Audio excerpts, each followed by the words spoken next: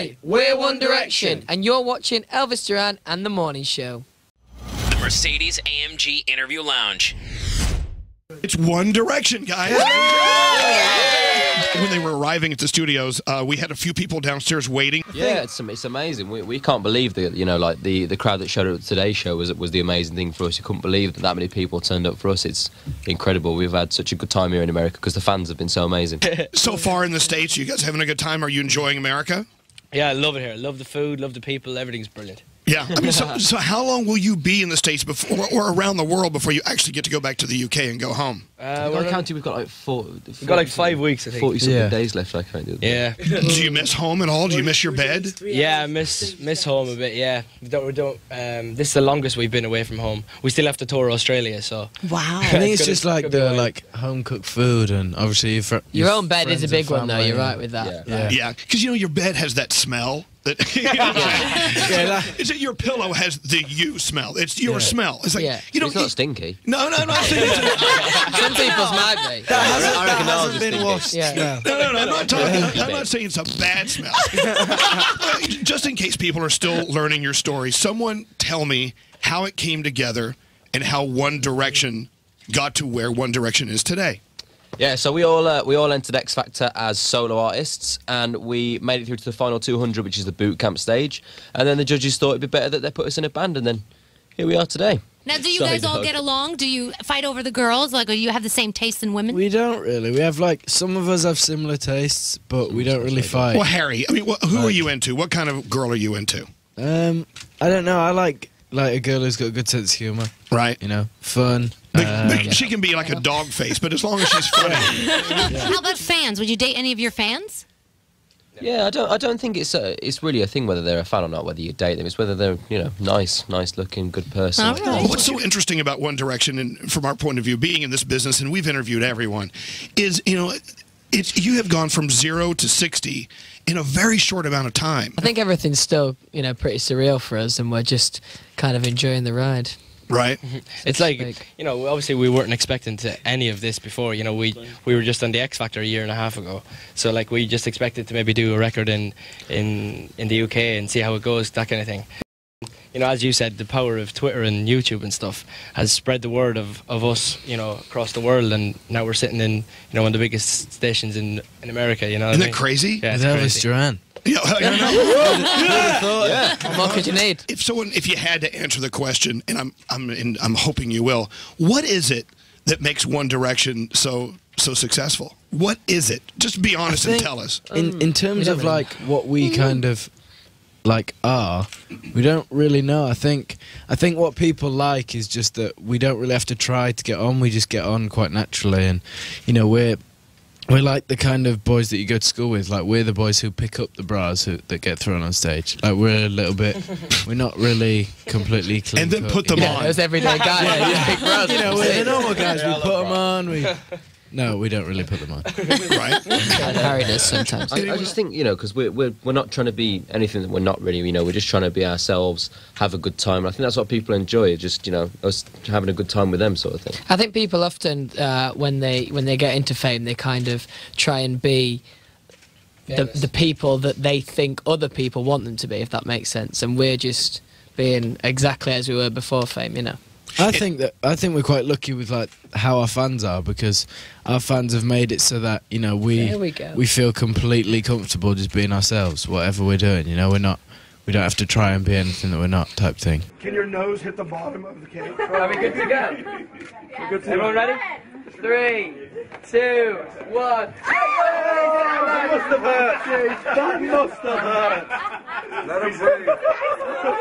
Hey, so you inject his face. Last you were here, uh, I don't re- if you remember it. We crammed your head down into a Union Jack cake. Yeah, I appreciate that. Did it take a while to get like the food coloring off your face? Well, the thing was, it was an ice cream cake. Yeah. And it was solid. It actually really hurt my nose. Oh, sorry. Yeah. Yeah. How do you tell that Yeah. story? Why do you have a black eye? Well, Yeah. I was slammed into a You guys, ice cream you cake. guys should. Uh, you go into the studio, and it's just you and the microphone, and you sing. Yes. You sing your heart out. Then you go listen to yourself, and you hear your voice, Mm. what's the feeling you get now when you hear just you? Um, I feel like you know how most people, if you record them on the phone, they don't like the sound of their voice coming back. I feel like I'm like I do like the sound of my voice, but I'm a bit of a perfectionist. So I've, as I'm listening to stuff, I'm all I, I can just hear everything. I'm thinking, okay, I want to do that again. I want to do that again. So that in particular, yeah, I am a bit of a perfectionist there. when I first went solo, I made the exact album that I wanted to make. Good morning, by the way. Morning. um, um, exact album that I wanted to make, and then obviously with the success of Slow Hands, in its period where you know hip hop and R and B was kind of dominating the radio, I probably shouldn't have really done that well, but I think it stood out because it was, I guess, different, and uh, that's why. And then I walk into the studio making this album with a bit more confidence. Every day you walk in to try and push the boundaries out a little bit, and I thrive off looking at what's on the radio and you know on all the different charts, and then try and try and do something different, as you say. It's really interesting because I've I've not brought up the boys one time, but you brought them up four times in this in this interview. Yeah, it's a massive part of my life. It's not anything I can try and escape. And, Well, and no, it's, and you nor know, should you. That's yeah, of you guys made some great music together. But what I love is the fact that you're doing this at your own pace. Yeah. Because as an artist, you have to you have to trust your own gut, and, Yeah. and there's no, there's no race here against the Well, boys the or, thing. I- or I- I Rihanna spent- or anyone. This is the thing. I spent years of of, uh, of my life being, you know, doing this magical thing and this wonderful band and whatever else. But there was such a pace of life that I had to stick to because you couldn't call any shots in that sense and whatever else. And it was like we were on tour sometimes. They're like, "Oh yeah, we just sold out another tour for next year, so you're gonna have to write that album as well." I'm like, "I just finished that one." Wow. Yeah. Yeah. Like, that's And we- literally what was happening. I we used to, get off- do that. We used to give away tickets. Remember, we would. Well, yeah, you're gonna go see One D next year. Yeah, and uh, we used to get off stage at like, and it would be I don't know whatever time we we have another show the next day. We had a truck right. that We rented this MI6 sound van that they use for like tapping like into people's things, whatever.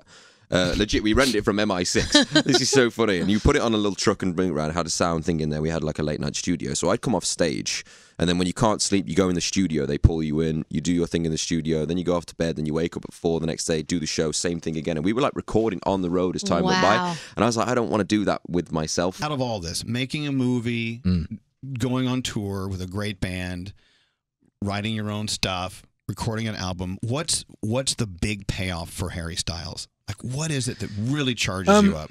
I mean, I love. I've always loved performing. I love touring.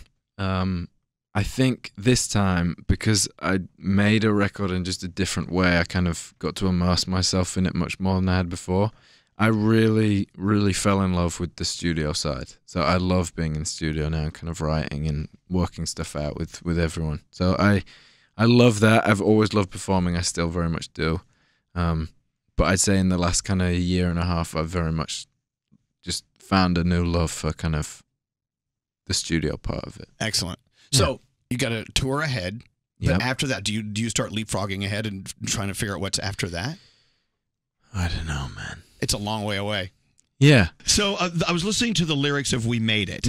Ta- walk me through some of those lyrics about there. I use I heard the word tasting a lot. um, yeah, well, the song in general, we started off as the with the title and the concept, and I did this song with Julian Bunetta and John Ryan, who did a lot of the One Direction stuff. And it originally started as a bit of a message between me and the fans that the feeling I'm going to get at that first tour show at Barcelona, because they've been so patient, and I feel like that's going to be a collective feeling, you know, that we've made it together, made and it. this is my first show, and, and, and I kind of wanted to put that across to them. When people stream slow, they they've streamed slow hand you know four billion times. What is that? Why is that? Why did they do that? Say it. I want to hear you say it. This is a good song. Yeah, Um, no. uh, And because they thought it was great. Yeah, I think it's great. bec- I think they think it was great because it was so different. Well, no, but my I guess my point here is can is it easy for you to accept the fact that you're really great at what you do?